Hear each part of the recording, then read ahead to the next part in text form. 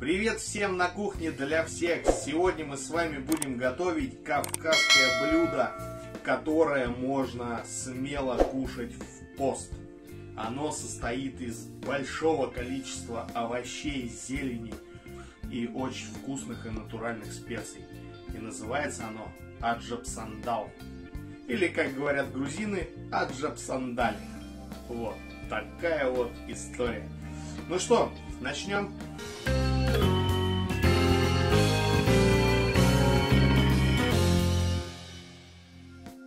Для приготовления этого блюда нам потребуется баклажан, болгарский перец, помидоры, морковь.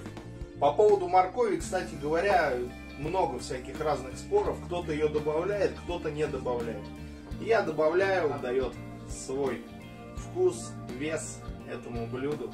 Ну и в целом хуже не будет. Она же вкусненькая, сладенькая. Кинза, красный базилик, петрушка, соль и черный молотый перец, репчатый лук, чеснок, острый перец. У нас он сушеный. Если у вас есть свежий, вы можете использовать свежий. Здесь у нас из специй хмели сунели, кориандр. У меня ступки нету, я ножиком предварительно зернышки подавил. И еще у нас самая дорогая в мире специя шафран. Как говорят, для изготовления одного килограмма специй нужно 150 тысяч растений. В наше блюдо мы будем использовать 12 грамм. Для начала мы берем баклажан, баклажанью, срезаем веточку, попочку, кому как больше нравится, разрезаем напополам, и еще раз напополам, и теперь на вот такие дольки, треугольнички, я не знаю, как их назвать. Здесь у нас уже большая часть пошла, можно еще вот так вот вырезать. Я думаю, хуже от этого не будет. В общем так, достаточно крупно нарезаем. Отправляем наши баклажаны в отдельную емкость. Теперь мы берем соль, ну и так прям обильненько, плотненько, хорошо засыпаем. Пару чайных ложечек можно. Берем ложечку и так вот их хорошенечко перемешиваем, чтобы соль со всех сторон оказалась. И отставляем их теперь пока в сторону. Они у нас за это время просолятся, пока мы подготовим и нарежем все остальные ингредиенты.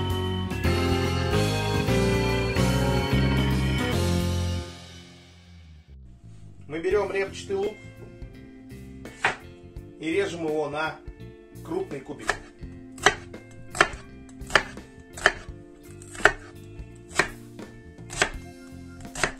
Отправляем наш лук в отдельную емкость, пока мы все нарезаем и раскладываем по разным тарелочкам.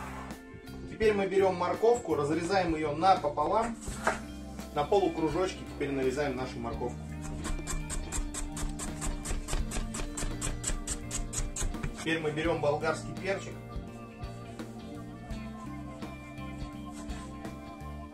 нарезаем сначала на пластины, вот эти белые штучки, из сердцевины мы срезаем. Они нам не нужны. И теперь как бы на полукольца нарезаем наш перчик.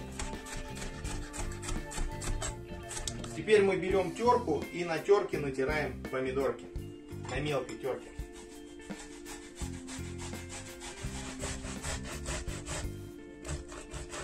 Стараемся натирать саму мякушку оставшуюся шкурку не используем.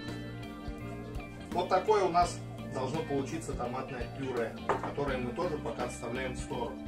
Теперь мы берем наш базилик и петрушку, кинзу пока оставляем в сторону. Отделяем листики от стеблей.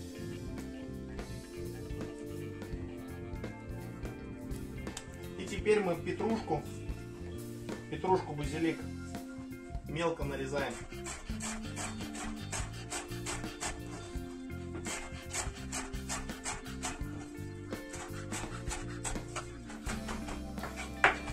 прям сильно, конечно, мелко в труху не надо, но так мелко можно пошинковать. Теперь мы то же самое делаем с кинзой. Просто они у нас будут на разных этапах приготовления добавляться, и нам перемешивать их не нужно. На порезанную мелко кинзу прям сверху можно выдавить чеснок.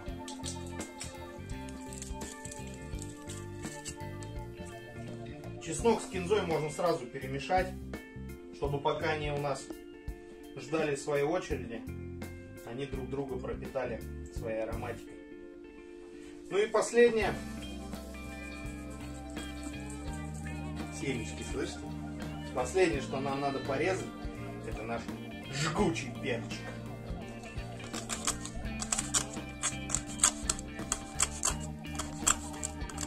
Кто-то любит острое, кто-то любит слегка острое, кто-то любит очень острое. Поэтому вообще блюдо должно быть острое, но если ты острое не любишь, что тебе?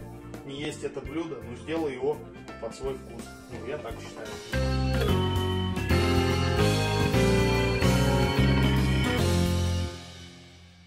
Теперь нам нужно промыть наши баклажаны от соли.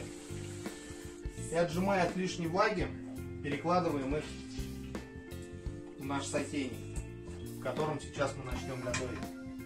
Все, мы отжали наши баклажаны, поставили нагреваться наш сотейник кастрюлю и наливаем туда сразу растительного масла и ждем, когда у нас начнется все это обжариваться. Как вы слышите, наши баклажанчики уже начали активно обжариваться периодически помешивая, обжариваем их минут 10. Чтобы не терять наше драгоценное время, нам минут 7 нужно обжаривать болгарский перчик предварительно в отдельной сковородке. Как раз пока у нас дожариваются баклажаны, мы обжарим болгарский перчик.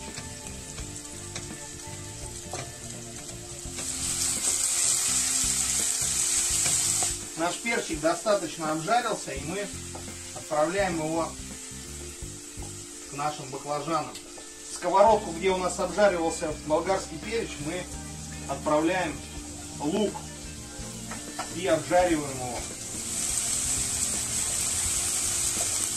Буквально минуту мы обжарили наш лучок, добавили чуть-чуть растительного масла и отправляем туда морковку. Постоянно все помешиваем, и перчик, и баклажаны, чтобы у нас ничего не подгорало.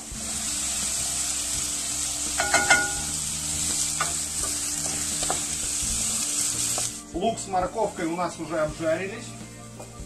Морковка не до конца, но ничего страшного. Но наполовину она точно приготовилась. Отправляем все к нашим баклажанам и перчику. Так, чуть-чуть перемешиваем. Теперь мы добавляем сюда наше томатное пюре пасту. Отправляем сюда наш базилик и петрушку.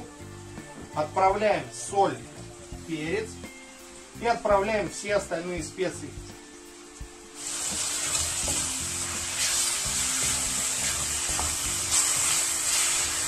Мы хорошо перемешали, убавляем чуть-чуть огонь, накрываем крышкой и оставляем томиться минут 12. Конечно же, периодически помешивая, чтобы на дне у нас ничего не подгорало.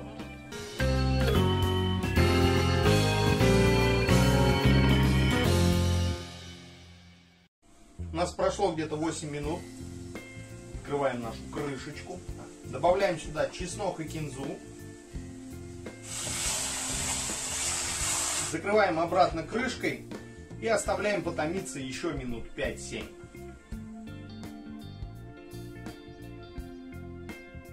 Ну что, попробуем этот шедевр.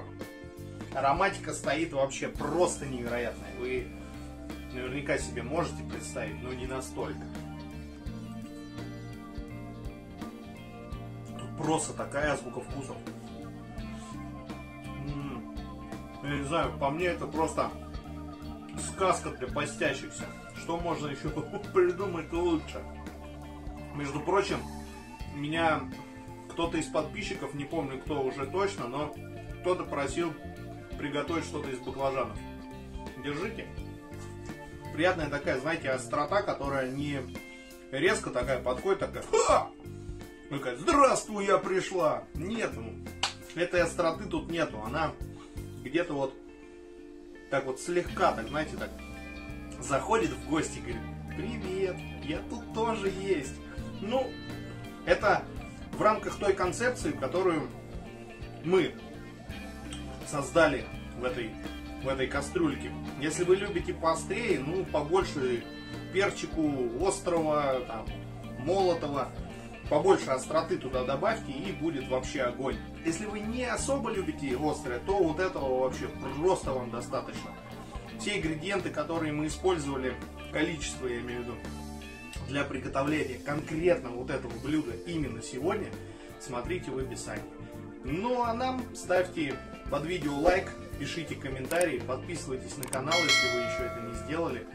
Ну и живите вкусно, живите так вот по-доброму, так вот вообще, чтобы у вас мир был наполнен красками и оранжевыми, и красными, и черными, и белыми, и синими, и зелеными, и розовыми, и фиолетовыми, в общем, какие хотите. Главное, чтобы не ЧБ было. Чтобы вот как в этой тарелке было все прекрасно. Все, давайте. До скорых встреч.